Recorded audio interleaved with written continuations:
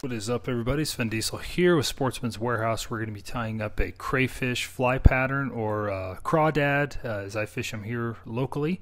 Uh, if there's a bunch of materials you're going to need, this is uh, we're going to start with a jig style hook. This is an S506 in a size 2.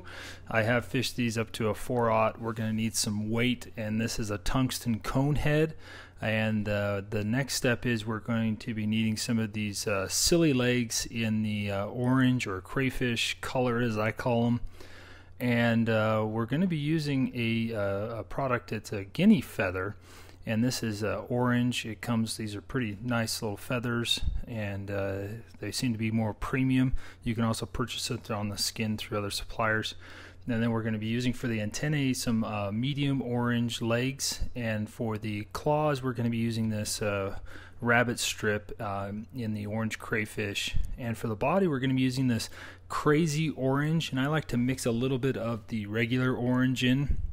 And just to hold everything together, you're going to need some Z cement, and also for the uh, the shell uh, we're going to be using some of this uh, loon thin. So let's go ahead and get started. I've got the cone on the hook. Like I said this is a size 2 make sure it's nice and secure. You don't want that point going into your uh, finger or anything throughout this process.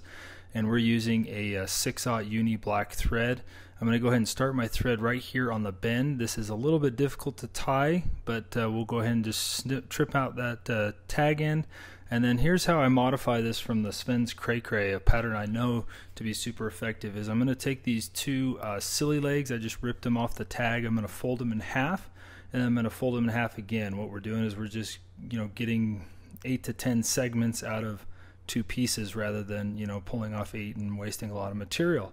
Now I'm just going to kind of loop those around so that I've got about a quarter of an inch off the front, and I'll go ahead and secure that right there on the, the not not at the bend. I want it to be on the portion going up towards the eye. And then I'll go ahead and make sure that those are each jetting out to each side. And I'm not doing super tight wraps here, just securing wraps. I don't want to cut these Sili Legs and then as I get down to the bend I'm going to now crank down on those wraps to basically compress the material and then I'll trim it short. If you don't do that process you won't be able to slide this cone up and over and so now I'm just going to really crank down and then as I get my way up towards the eye then I'm going to do some little a little bit looser wraps but they're still securing wraps but just a little bit looser and then um, I want to just go ahead and test this to make sure it slides up and over and of course you may have to fiddle with it a little bit. And yes of course it does. And so then I'm going to advance my thread down and just provide a little bit of a thread base down midway down the shank of the hook because we're going to go ahead and do a whip finish now. And like I said this is a modification off the Svend's Cray Cray. Um, trying to just use this tungsten cone which might be of benefit through dragging it through the rocks give it a little bit more guidance instead of uh, lead barbell eyes. And then I'll just trim these uh, Sili Legs. So uh, they're roughly the um, you know a quarter of an inch 3 sixteenths of an inch. Uh, you can play around with this. You can always cut them shorter on the water using your forceps or um, you know nippers but uh, you can never add to it. And so now that we've got that thread base right there, we're going to go ahead and start our thread again, and I'm going to work it down into the bend of the hook um, because we're going to do a little technique I, I, I, call the hackle cone. And for this, we'll be using those guinea feathers. And so I'm going to do, you know, a little bit past the bend there you can see because we're gonna this first hackle cone we're just gonna prep this guinea fowl feather by preening off all the fluff and I'm going to take it and get the tip. This is a little bit more difficult than a traditional hackle feather, uh, but it's still doable and will give you good practice for um, doing it with, uh, you know, uh, you could use schlappen or a few other materials for this, but these guinea fibers are really stiff and durable, and when you do it this way, they're kind of barred, um, almost a little bit better than like a grizzly. And so this is kind of an awesome uh, feather for this. The only disadvantage is you can see how quick that gets to a thick stem. So we want to basically get that tied off as close to those uh, that ending wrap as possible because we don't want to build up. We're going to be tying in a bunch of material, so we don't want to add a ton of bulk. And here's where I call it the hackle cone. I'm going to wrap back over those fibers, and you can see how it kind of makes a little cone right there. Um, I think that this uh, we're going to be doing uh, uh, two more of these um, through this process to kind of push the uh, claws away from the body. Uh, next, we're going to take this medium round orange. I'm just going to tie it in on the top of the shank, and they're kind of together at this point. As I work towards the end of that hackle cone, now I'm doing kind of those loose, snug wraps. I'm not doing super tight, and then I'll use that to my advantage now, kind of of splaying them apart, and that way they're they're not going to be touching um, naturally. They're going to want to be a little bit apart from each other on the rests, and that's typically where I have the most um, hits is when this is is on the pause, not so much on the strip. However, um, you know you can get them either way. Now, um, this is the mono eyes. Uh, I, there's other videos on how to do this. I'll put a little link here potentially. Um, I'm not going to waste uh, the time in this, but basically, you're, you're taking some 30 pound mono and uh, making these uh, these eyes and for the, the purpose of this, you can use uh, nail polish, you can use black UV resin, you can use uh, clear UV resin, and then color it with a Sharpie. If you do it that way, I recommend doing a second coat.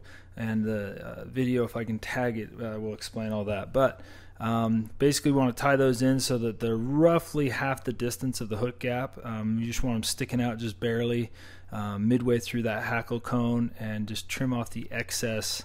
And there's also products you can buy where these are already made if you struggle uh, making these but uh, you're going to burn your fingers a few times your first couple times making them like i did.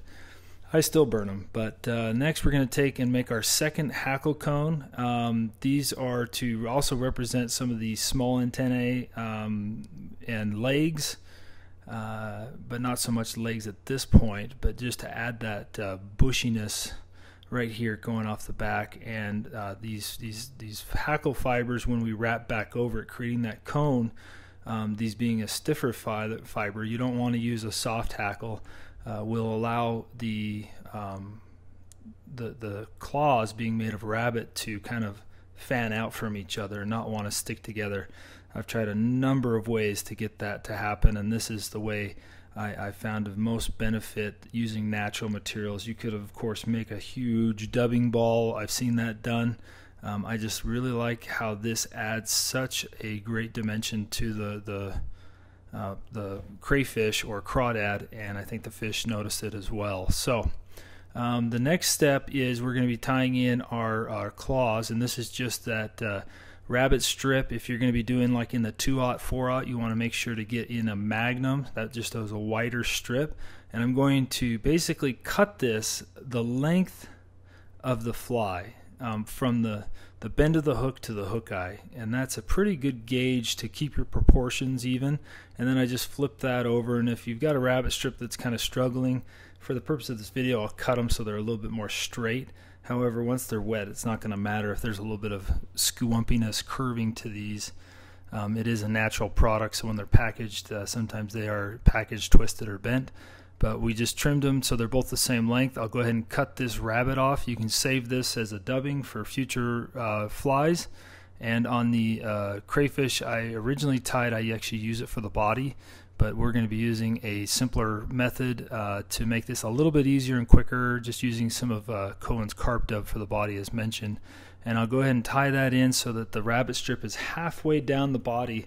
And the purpose of that is to um, also create a good taper. And then I trim the tips so that they're um, basically pointy. If you're going to be doing magnum, I actually do a, a, triangle, so I'll cut it the other way as well. But for these smaller strips, I just cut it at an angle. And as mentioned, I've tried gluing um, other colors to the tips of these. I've tried uh, putting foam in it, and I, it doesn't. I don't think it makes a difference. Uh, when this lands in the water, those rabbit uh, claws naturally uh, create air pockets, and they're going to uh, basically stand up in the water more so than this tungsten cone and create a defensive position, um, the crayfish as it lands. And if you don't move it, it will stay there in the defensive position, but that's when you want to twitch it. So just make sure those are aligned, basically coming off the back at a little bit of an angle, 5 degrees upward, maybe 10 degrees. And then we'll tie in the last uh, guinea feather. Um, this one's a little bit larger, and this will be the third hackle cone, and this is uh, not actually helping to keep the rabbit uh, strips away from each other, but rather uh, just to create some really nice bugginess of those small antennae and uh, uh, the head of this this fly. and I might struggle here. I don't have my hackle pliers laying around, and this is a really short stem, but um, it doesn't need to be perfectly palmered around. As you can see, I am really struggling here to get this stem um, out of these uh, fibers. So um, the struggle is real. Um, you know, I've been tying, oh shoot, I don't even know how many of these in the last several months, uh, several, uh, or at least a hundred, maybe several hundred and uh, these uh, it never ceases to run into a problem here. But uh, once we get this stem out, we're going to uh, get this up and over. I'm going to pinch it with my left hand, and then I'll secure that stem with some nice uh, wraps, and then I'll kind of preen everything back, and you wouldn't even have noticed that I struggled through that. So thanks for bearing with me. Um, there we go. So I'm just going to get those fibers all going backwards, kind of make sure they're evenly dispersed around there and then I've got some that uh, from the tip here that I'm just going to snip out just to make it a little bit of a cleaner fly. You could leave them, it doesn't matter. We're going to get a really nice buggy body here to represent the body and also some of the legs. So we're going to make a dubbing loop by putting it around my finger and then I'll make a secondary loop so that this is extra strong and durable and then I'll just uh, kind of twist it so it goes to a pinch advance my thread up to right behind this tungsten cone and then I'm going to insert this uh, Loon um, dubbing loop tool um, into that and then I'll place it up here in my material clip which is probably off the camera but it you can see it's leaving it open in the dubbing loops and so here's the two colors I'm going to mix and I'm just going to stack them on top of each other twist them around pull them apart this is also stacking the fibers so that they're not all bunched up um, but you can see how this gives a really, really nice blend. I love the um, the blue accents in this. It's just a super awesome product. And then I'll just kind of spread it out a little bit as I get it uh, pretty much stacked and then open my loop, insert it up and in, and then I'm going to make this a really bushy, thick dubbing loop. Um, I'm probably going to regret this, how full it is, but um, I want to get this body in one pass. And if you, you don't, you can always do a couple dubbing loops if it's easier that way. But I'm just leaving that material so that it's uh, even on each side. And you can see it's just twisting it up is making it super, super um, tight around that thread. And that, that's totally okay. No matter how fast or slow you go, it's going to happen. And then I'll just take a little brush here and kind of use my finger underneath to help uh, support this so that I don't break it and then as I brush those fibers off my finger, I think it really helps to kind of pick this out in a um, non-abrasive way. This is a stainless steel brush um, that could potentially break your thread, but we that's we did a double dubbing loop, and so it's it's pretty strong. Um, the only thing that would be stronger is if you you know were using GSP or um, had a stainless steel brush made. But um, this is kind of a key here. I just want to soak this down in super glue. We've added a lot of materials here. I want that to kind of soak in and penetrate. And it also gives a nice little um, coating because I'll wrap it right now uh, for this dubbing to kind of set into and uh, really just make this one fly, you know, all these materials into one uniform body. Um, and so we'll just palmer this around with uh, touching wraps. You can spread it out a little bit if you want a little bit sparser. I go denser towards the back, and then up here I'm going to kind of go a little bit sparser because I want it to match up to that cone. And I did almost the perfect amount here. It looks a little bit short, but we'll adjust that with our cone just because I don't want the metal sitting right up against the hook eye and against those fibers as a potential way of just snipping them off. Um, so we'll go ahead and close off that and we'll do a three turn whip finish here and finish off our fly. I'll go ahead and do a secondary one and that is pretty much most of the fly. We just got to do some cleanup work here. One is brushing it out. We want to brush a lot of this uh, body material at a downward angle and so I'm just going to use this uh, this Peak uh, dubbing brush tool really nice for um, getting in and not bugging up the uh, the hook point there because it you know got plenty of room. And I'm just picking out I'm being pretty abrasive with this um, and aggressive. And you can see how it's just you want to get as many fibers as you can out. These rubber legs in here Um, this is why I love his dubbing. Imitates a lot of the legs. It gives it uh, structure and profile, and that color is just awesome. I wish we could get rabbit strips with a little hints of blue on it. And anything that's kind of sticking up, bothering you, and I'm just gonna uh, you can cut out, and then I'll twist this tungsten cone down just a little bit. Like I said, I don't want it sitting right up against there.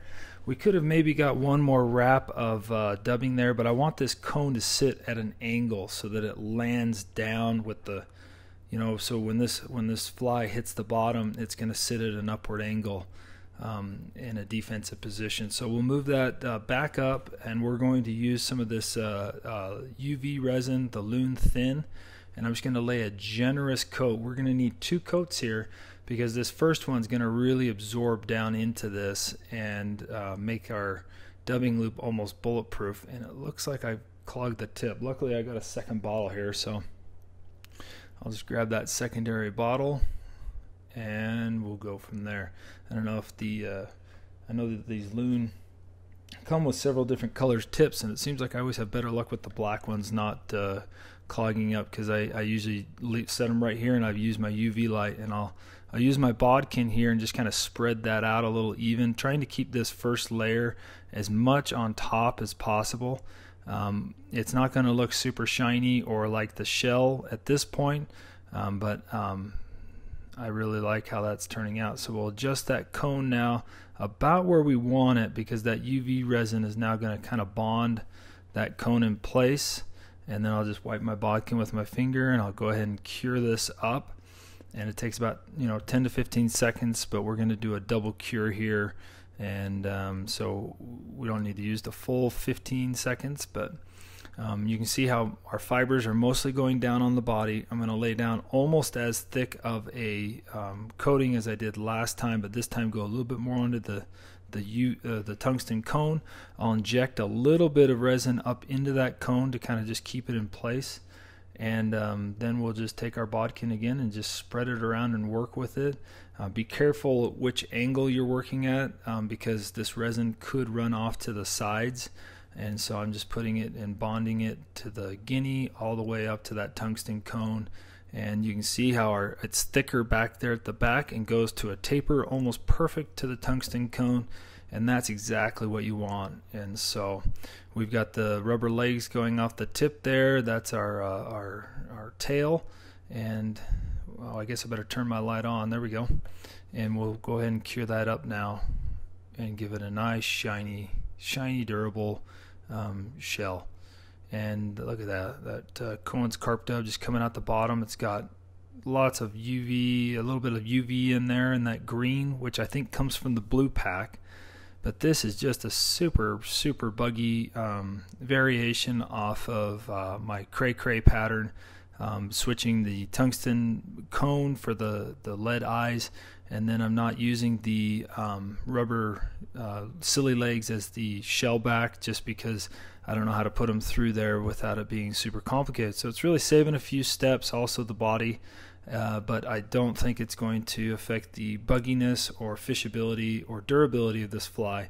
But these are all available through uh, Sportsman's, and so you can see as this lands, that tungsten's going to have it land just like that, and those claws are going to trap some um, uh, some air and sit right up in the defensive position, and the eyes are going to be right there, ready to go. So um, tie some up, fish them, hope they pierce some lips for you.